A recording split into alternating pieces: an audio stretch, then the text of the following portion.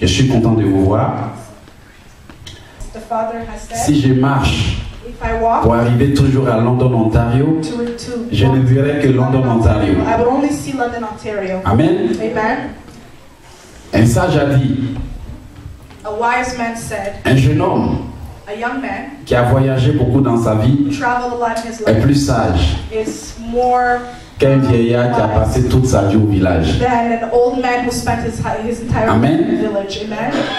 Ce qui veut dire que So that means ce n'est qu'en sortant, it's by getting out, ce n'est qu'en sortant it's by getting de votre out, zone de confort getting out of your que comfort pour vous dans la vie. new experiences in Il faut life. sortir de sa zone de You confort. must get out of your comfort zone. Amen. Amen. Jésus a dit, Jesus said, allez en eau profonde. Allez en eau profonde. Go to deep water. to deep waters. Amen. Amen. Ça veut dire que ce que vous avez l'habitude de faire, qui ne vous apporte rien là, ayez le courage d'abandonner. Amen.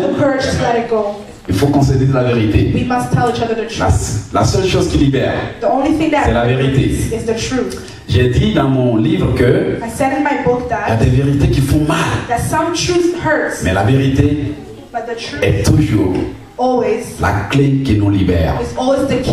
Qu'est-ce que le Seigneur Jésus a dit? Vous connaîtrez la vérité. You will know the truth, Et cette vérité and that truth vous rendra libre. will set you free. Amen. Amen. Mais pour que la vérité nous libère, nous devons sortir de notre zone de confort.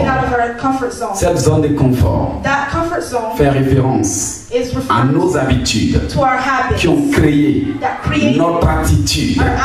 Qui souvent empêche Dieu So many times stops God de nous exaucer. from lifting. Amen. Amen. Alléluia. Vous pouvez vivre